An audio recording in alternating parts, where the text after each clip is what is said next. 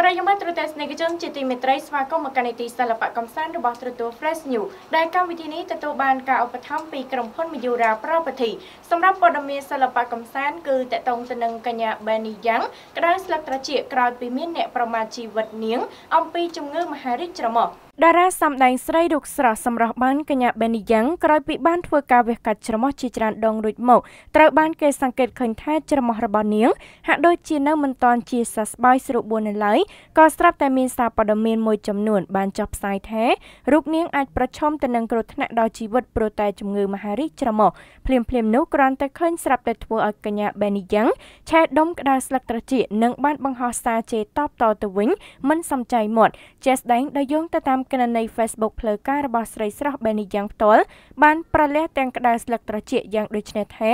ថាមិនចង់ផុសជេរទេនាំតែពួកអាក្បាលថោកអ្នកសរសេរអស់ឯងនឹងវាឡើងល្បីដោយសារគេជេរ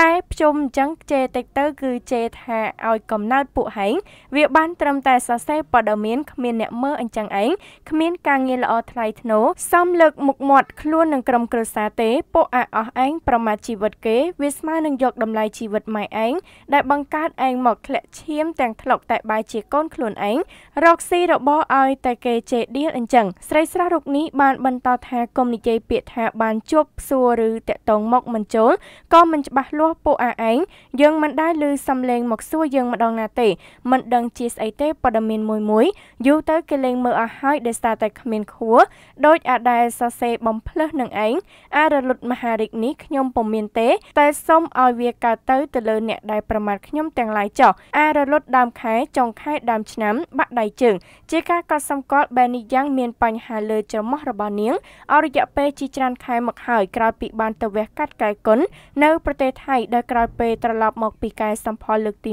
1លទ្ធផលមិនល្អនាងក៏ត្រឡប់ទៅធ្វើម្ដងទៀតហើយលទ្ធផលនៅតែមានភាពធ្ងន់ធ្ងរនិងនៅតែមិនទាន់ធូរស្បើយនៅឡើយនោះទេ